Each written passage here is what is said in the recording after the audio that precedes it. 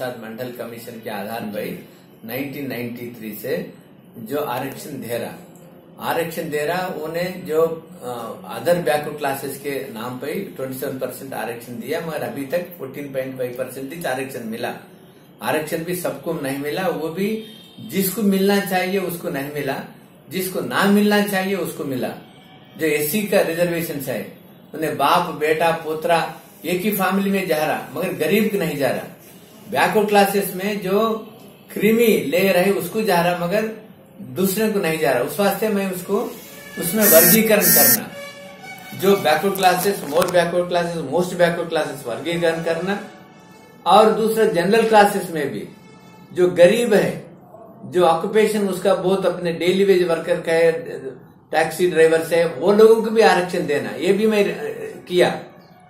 उस वास्ते उस वास्ते दोनों को यह गलत फहमी हो रहा है। उसमें भी जो मिलना मिलना चाहिए जनरल क्लासेस में भी, उसमें भी मिलना चाहिए। इसमें भी उसमें जो इक्वल जस्टिस अति पिछड़े वालों को भी मिलना चाहिए। फॉर एग्ज़ाम्पल बैकवर्ड क्लासेस में nomadic tribes semi nomadic tribe aboriginal tribes begging classes wandering classes आधा 50 percent aboriginal tribals backward classes में है। उसका पोजीशन बहुत उसमें वर्गीकरण करना। वर्गीकरण करना। और मैं, और नेशनल कमीशन बैकवर्ड क्लासेस के भी संविधान की दर्जा दिया। और कहीं अपने, मैं रिकमेंडेशन दिया, मगर कोई भी अभी तक इम्प्लीमेंट नहीं हुआ एक्सेप्ट जो अपने कॉन्स्टिट्यूशन दर्जा दिया। उस वास्ते ये अपने सच्चाईपन से फिर ये करना चाहिए। ये अपने सिविल सोसाइटी से, वैसा डिमांड से फिर एक प्रजा उद्यम से कर सकते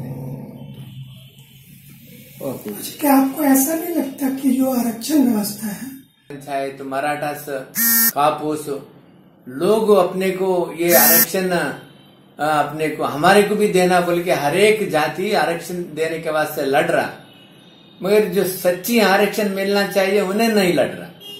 जो गरीब है उसको आवाज़ नहीं है उसको कोई भी अपने हक उन्हें एक्सरसाइज नहीं कर रहा। उस वास्ते मैं सब गरीबों के वास्ते मैं ये एडवाइस दिया जो भी अपने पूरा सोशियो इकोनॉमिक सेंसस 2011 सरकार ने दिया उसकी आंकड़े पब्लिश करना। जो social economic political education employment cultural और इसका इतना, जिस, जिसको क्या अपने भारत में क्या, किस किस, क्या क्या स्टेज पे है, वो पब्लिश करके उसकी आधार से ये इकोनॉमिक मेजर्स वेलफेयर मेजर्स ये आरक्षण, ये इम्प्लीमेंट करना। और 2021 में भी ये जाति जनगणना प्राइवेटाइजेशन करते हैं। Education privatisation employment privatisation factories privatisation सरकार की नौकरी कम हो रहा और प्राइवेट नौकरी ज़्यादा हो रहा, उस वास्ते उसमें भी आरक्षण इम्प्लीमेंट होना चाहिए। नहीं तो फिर अपने को पहली मुद्दा सबसे स्कूल एजुकेशन नेशनलाइज करना प्राइवेट एजुकेशन प्रोहिबिट करना। स्कूल एजुकेशन में भी वो moral ethical legal spiritual education एक चरित्र निर्माण करना। जब आदमी को जो चरित्र निर्माण होता, वो वैल्यूबल आदमी बनता। वो देश की हित में काम करता।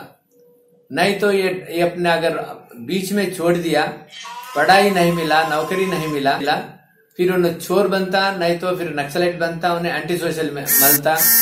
फिर अपने एक एक न्यू अपने, ये अपने सरकार की, इसमें नेशनलाइज करके एक वैल्यू एजुकेशन टीच करना।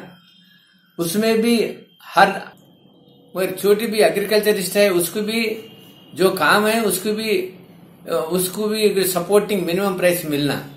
जो स्मॉल फार्मर है मीडियम फार्मर है मार्जिनल फार्मर है, उसको जो इन्वेस्टमेंट सरकार करना उसको मिनिमम सपोर्ट प्राइस देना भी अपने एग्रीकल्चरिस्ट को। और उसमें, और मन मन नरेगा को भी लिंकअप करना। मन नरेगा को अपने का, आज अपने सौ दिन और एक सौ पचास जितने भी दिन था, कोई भी अपने भारत का निर्माण नहीं हो रहा उसका। वो उसमें आधा, एक घंटा करते, फिर अपने बीच वाले आधा करते, फिर उसको आधा देते। और फिर उसको खाली अपने फुकट में सरकार वो चावल देते, फिर वो देते, ये देते, फिर ये लेके फिर शराब पी के फिर उन्हें कहाँ का कहाँ, वहीं का वही। और प्राइमरी एजुकेशन में भी प्राइमरी हेल्थ भी नेशनलाइज करना। क्योंकि हेल्थ बहुत इंपॉर्टेंट है। हेल्थ को हेल्थ भी पूरा नेशनलाइज करना, सबकी हेल्थ नेशनलाइज करना प्राइमरी हेल्थ और महिलाओं को सशक्तिकरण करना। क्योंकि महिलाओं के, क्योंकि भारत में नारी अपने नारायण बोलते हाँ लक्ष्मी नारायण बोलते, सीता राम बोलते, श्रीमती एंड श्री बोलते। और भारत में नारी का बहुत प्रमुख यह है। मगर नारी का को भी कोई भी रिजर्वेशन माना उसको जो इक्वल रिप्रेजेंटेशन होना चाहिए। उस वास्ते लेजिस्लेटर्स में भी, और उसको भी नारी का उसका इक्वल रिप्रेजेंटेशन उसमें भी रूल ऑफ़ रिजर्वेशन होना चाहिए। उस वास्ते जो, क्योंकि नारी को भी एजुकेटेड है आजकल एजुकेटेड है और हर एक जो जाति का, जो भी रिप्रेजेंटेटिव है, ये क्यों समानता आए तक एक अफर्मेटिव पॉलिसी अब सबकी साथ, सबकी बला होना बोले तो सबका रिप्रेजेंटेटिव होना उधर। और भारत में अगर कहीं एक बेंचमार्क रखो, एक दस साल, पंद्रह साल, कुछ भी, ये उसको ऊपर उठा के ये कास्ट सिस्टम खत्म करो। क्योंकि कास्ट सिस्टम जब खत्म होता, जब उन्हें अच्छी नौकरी मिलता, उन्हें अच्छी एजुकेशन मिलता।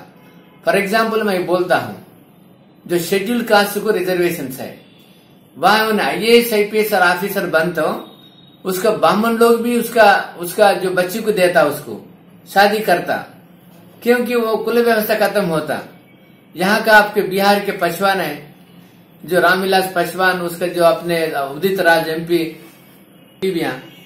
civil caste से नहीं कर रहे उन्हें। बोलते, ये अपने पोस्ट पोजीशन से कुल व्यवस्था भी खत्म होता। क्योंकि एजुकेशन क्योंकि कुल भगवान ने क्रिएट नहीं किया। ये अपनी जो कल्पना है, अपनी जो भावना है ये, उस वास्ते जब तक ये अपने कास्ट सिस्टम खत्म नहीं होता, समानता नहीं होता, सबको समन्याय नहीं मिलता कॉमन एजुकेशन नहीं बनता वुमेन को एम्पावरमेंट नहीं होता जो एग्रीकल्चर सेक्टर को भी अपने को सस्टेनेबल अगर एग्रीकल्चर सेक्टर टेक्निक अपने स्किल और अपने जो ये आर्टिजान को भी सपोर्ट नहीं मिलता तब तक ये समानता क्योंकि मे, मेजर चरित्र निर्माण होना क्योंकि आजकल देखो इतनी जो एक एक बड़ा बिज़नेस हो गया। पॉलिटिकल आज बिकम ए बिगेस्ट बिज़नेस उसको पैसा खर्चा करो, फिर लोगों को भटकाओ अपने ऑल अपने पूरा ऑल इम्प्रैक्टिकेबल इलीगल प्रोमिस करो, और चीट करो। वो एक एक राजनीति कितना अच्छा ब्लफ करता, इतना चीट करता है इतना फॉल्स प्रोमिस करता, उसकी मैंने वोट अपने लोगों को चीट करके फिर जीत रहा, मगर जीते बाद कुछ नहीं कर रहा उस वास्ते जनता को जगाना। नेशनल कमीशन अपने all India backward classes federation मैं एक स्थापित किया हूँ। उसकी पूरा भारत में जितने भी ऑर्गेनाइजेशन संस्थाएँ हैं ये है उसको जो मोटिवेट कर रहा हूँ और उसको सबको समन्याय देना चाहिए और क्रिश्चियंस को भी उसका हक देना चाहिए मुस्लिम्स की भी उसका हक देना चाहिए। क्योंकि भारत में जो रहता है, उन्हें सब अपने भारतवासी से। उसमें जो religion discrimination caste discrimination region discrimination कुछ नहीं होना चाहिए। सबको एक समानता देखने का ये वैसा एक दृष्टिकोण से ये अपने पॉलिटिकल भी एज समाज भी फिर आगे जाना चाहिए। सर अपना नाम बता देंगे। Justice V Eswaraiah former acting chief justice Andhra Pradesh high court बाद में chairperson national commission for backward classes government of India तीन साल करा था